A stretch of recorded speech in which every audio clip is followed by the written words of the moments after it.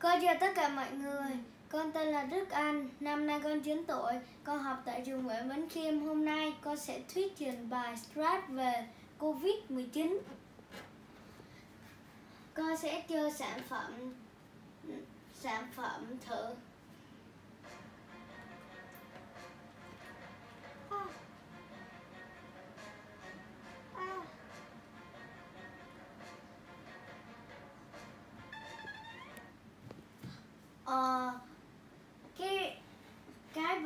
Này thì nếu chúng ta chạm vô cái viên màu xanh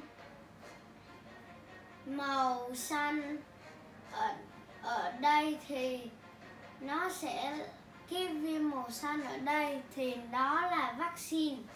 Còn những viên màu vàng này nó là covid 19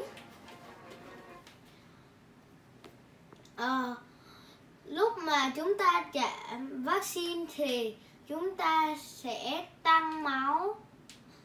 Còn khi chúng ta ta bị những vaccine này chạm thì sẽ bị trừ máu và và sẽ bị sẽ bị nhiễm covid.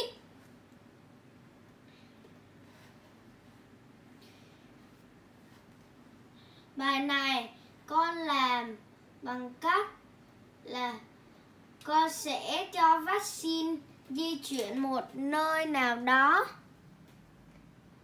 À, và nó chỉ vô robot nhưng nó không đi tới robot mà nó sẽ đi cách xa khỏi robot nếu khi chạm robot thì nó sẽ tiếp tục chuyển sang nơi khác còn robot thì sẽ đầu tiên sẽ chuyển sang trang phục không bị nhiễm và xuất phát ở điểm giữa của màn hình.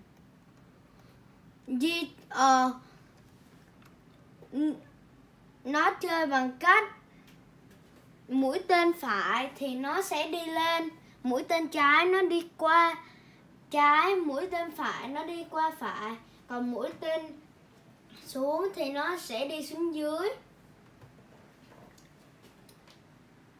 Ờ con sẽ ờ, đầu tiên con sẽ chuyển điểm là không máu là 100 và trừ trừ tốc độ và đợi một giây và đổi máu thành speed. Là speed sẽ bị trừ đi hai máu.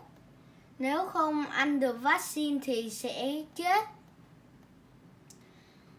Còn uh, nếu mà ăn được vaccine uh, ờ, ở ờ, trong trong dây sống sót thì chúng ta sẽ được cộng một điểm. Và nếu nếu máu máu nhỏ hơn không thì sẽ hiện ra game over. Còn mấy con virus này sẽ xuất hiện ở nơi đặt.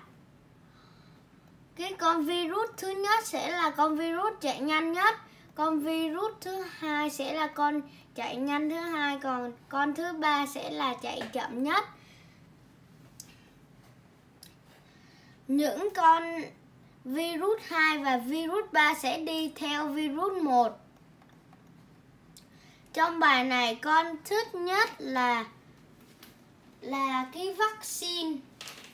Bởi vì nó có thể đi tứ tung và phải làm cho bo, uh, ờ, robot phải bắt được lấy thì mới có thể cứu mọi người.